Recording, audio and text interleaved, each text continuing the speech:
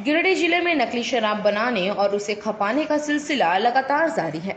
इस बार भी नकली शराब बनाने की तैयारी की गई थी, लेकिन इसकी सूचना प्रशासन को मिल गई और स्प्रिट की बड़ी खेप को बरामद किया गया। स्प्रिट को निमियाघाट थाना इलाके के प्रतापपुर से बरामद किया गया है। ये कार्रवाई उत्पाद अधीक्षक और निमियाघाट पुलिस के नेतृत्व में की गई। टीम ने प्रतापपुर के सुनसान स्थान से तिरपन सौ लीटर कच्चा स्प्रिट, खाली जार और गैलन बरामद किया है। बरामद स्प्रिट की कीमत लगभग चार लाख बताई जा रही है। बताया जाता है कि जिला प्रशासन को ये सूचना मिली थी कि प्रतापपुर में भारी मात्रा में स्प्रिट छिपा कर रखा गया है। इस सूचना के बाद डीसी के निर्देश पर एक टीम का गठन किया गया। टीम ने देर रात कार्रवाई करते हुए स्प्रिट को जब्त किया।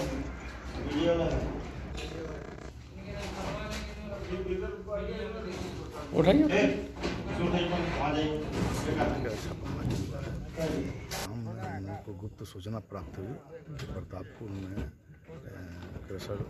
यहाँ पर है और उसके पास स्प्रिट का स्टोर किया हुआ है। वहाँ से आज यहाँ से लोग निकाल करके बाहर कहीं ले जाने वाले हैं। इसी सूचना पर उपायुक्त महोदय के द्वारा फोर्स वगैरह उपलब्ध कराया गया। और थाना प्रभारी निमिया घाट के सहयोग से यहाँ आकर के छापामारी किया गया। करीब तिरपन सौ लीटर स्प्रिट बरामद हुआ है। और इसका इसे फॉरेन लीकर बनाने के लिए ही यह स्प्रिट यूज़ होता है। इसका ऐसे देखेंगे हम लोग तो बाज़ार मूल्य लगभग नवासी लाख रुपया आ जाएगा। नवासी लाख। किसी की गिरफ्तारी हुई है? स्पीड का कीमत सर नवासी लाख। स्प्रिट का कीमत अलग से आएगा। वो करीब आपको सत्तर रुपये लीटर स्प्रिट आएगा। हाँ लेकिन स्प्रिट का कोई यूज़ तो सत्तर रुपये लीटर से कोई यूज़ नहीं होता। है इसका कमर्शियल वैल्यू हम लोग देखते हैं कि मार्केट में इसका क्या उपयोग होता है और किस रेट में मिलेगा। ये शराब बनाने के लिए जो भी सामान यहाँ बरामद है शराब बनाने के लिए।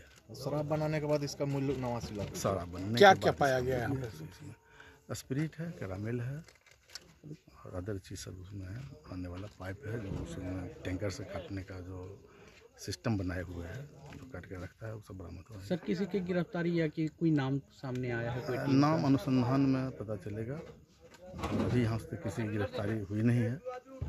और ये जगह देखते हैं किनका है, रैयती ज़मीन है या किसी रैयती ज़मीन होगा तो उनके मालिक पर भी केस होगा तो पता चलेगा अनुसंधान में।